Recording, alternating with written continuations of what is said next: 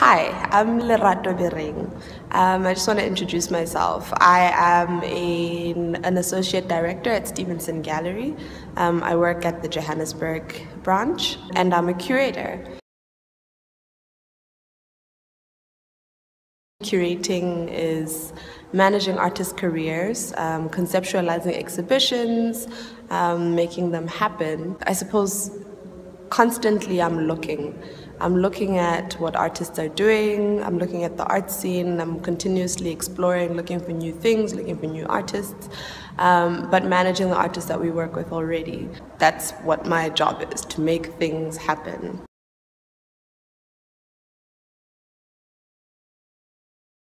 I found out at some point during my fine art degree at Rhodes University. I'm from Lesotho, um, and I guess I had grown up in a relatively creative family in kind of literature. I have author author grandparents and author uncles, um, and my dad is very uh, very much of a wordsmith.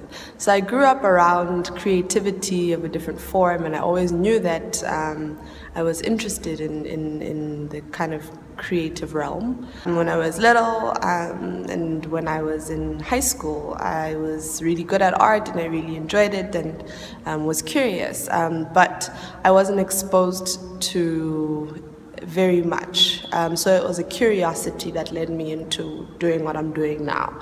Um, I didn't want to be an artist, and then I became interested more in other people's art and what there is to know about art and how art has, has served as a vehicle for um, various very interesting uh, moments in the world.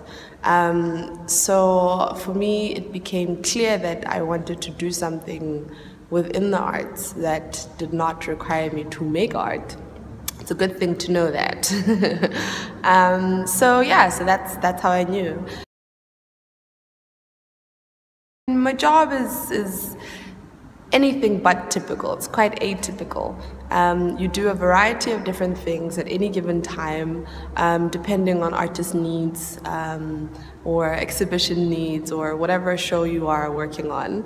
Uh, for instance, I just did a show about sex, and that a lot of it required me to go to like porn shops and look around for sex things. So I wouldn't say my job is typical, but I guess the day to day, there is a standard kind of day to day thing that I do, which is the boring stuff, the admin, the, the kind of management thing that nobody um, really likes to talk about. I think the bulk part of my job is having conversations, interesting conversations with interesting people, um, speaking to interesting collectors and clients, um, introducing them to certain artists, um, having regular studio visits with artists that I work with closely, um, which is great because it's always teaching me new things. Um, through artists, you see the world really it's important um, based on our location, not having so much. Um, you know, traffic uh, in terms of collectors and, and institutions, um, and really not having very many art institutions in the country. It's important that we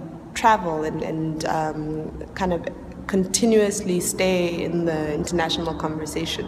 We do a lot of art fairs, um, which is uh, most of the traveling that I do every year. Um, we do Frieze New York, uh, we just did Armory, we do Art Basel, um, we do Art Basel Miami, we do Paris Photo. Um, so it's great, we get to see a different many, many, many different scenes, but um, also have many, many, many interesting conversations with people that I would otherwise probably not meet.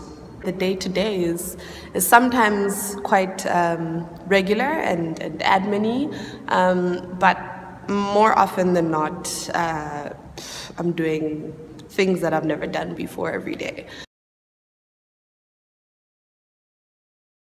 Every challenge that you're faced with, you need to find a solution for. Um, you need to learn about um, in order to find the solution. So I guess there's no real um, standard um, thing that I would say is the most difficult part. It's also challenging sometimes, you know, working with with artists. You know, there's so many personalities and so many um, ways of working and so many ways of having conversations. So I guess it's about finding a rhythm. It's like having ten different relationships with, you know.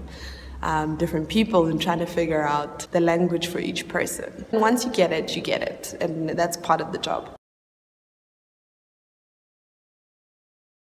Now that the, the universities offer curatorial courses, a lot of people go straight for that, um, which is one way, um, and then start interning at, at uh, galleries and museums, I suppose. It's very important as a curator to constantly look.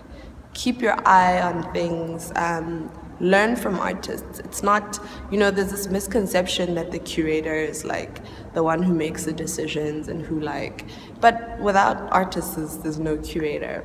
So for me, it's really part of my curatorial process always in every show or any project that I've done is learning from artists, having those conversations that then form the curatorial concept. Um, I, I have, yeah, I've found it the most rewarding way to work. Um, speak to artists, develop your project around the conversations that you have.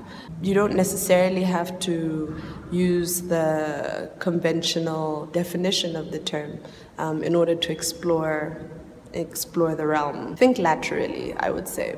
Um, figure out what it is you're truly interested in. Don't copy and paste, um, and then run with that. Um, there's nothing. There's no wrong wrong direction. I'd say. I have a show at the gallery, at Stevenson Gallery, um, which I curated and it's about sex. Um, and so that's one project that I, one big project I just did. Um, every year I do a project in Morija in Lesotho, where I'm from. Um, and this is curating a set of conversations. Last year I decided to bring artists um, and screen artist videos. Um, and this year I'm going to do something relating to, I think, feminism at the moment in relation to patriarchy. Check it out in Morija, in Lesotho. And you can find me on Instagram and Facebook and all of those fun things. Um, but you can also find me at the gallery in Joburg, and I'm always happy to have a coffee with any an interesting person for no particular reason, but to have a conversation and learn more about other people and share what I know. So that's where you can find me. Okay, bye.